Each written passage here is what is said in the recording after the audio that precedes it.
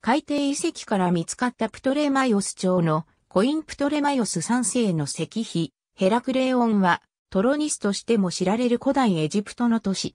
アレクサンドリア近くのアブキール湾沖 6.5km に遺跡が沈んでいる。紀元前12世紀には古代ギリシャの歴史家によって言及されており、エジプト新王国の末期には王国の中心的な港としてその重要性を増していった。ヘラクレーオンはもともとナイルデルタの島々の上に建てられた町で多くの鳩場を有していた。トロイ戦争が始まる前、パリスとヘレネーは嫉妬に燃えるメネラオスからこの町に逃れてきたと信じられていた。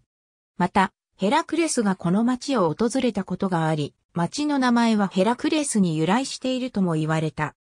ごく最近までこの一石に言及する文献や碑文はほとんどなく、興味深いことには、この遺跡をナウクラティスのようなエンポリウムとして語っているものもある。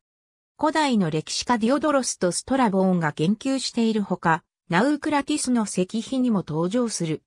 そこには、サイスのネートの神殿があり、入港税の10分の1が特権として与えられていたと記されている。プトレマイオス3世を称えるカノープス直令にもその名が現れる。ヘラクレーオンは、各年のコイアックの月にオシリスの密議が行われた場所と言われる。オシリス神は、祭祀戦で、アメン神殿からカノープスの神殿へ渡御する。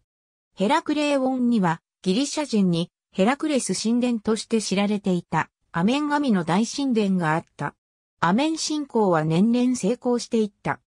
ヘラクレーオンは紀元前6から4世紀に栄えたことが考古学的発見によって明らかになっている。紀元前4世紀には時のファラオネクタネーボ一世によって多数の神殿が建立された。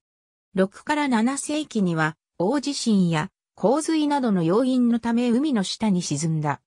海底遺跡は2000年にフランスの考古学者フランク・ゴディオによって発見された。それまでは多くの学者はヘラクレオンとトロニスが同じ都市を表すことすらわからなかった。ありがとうございます。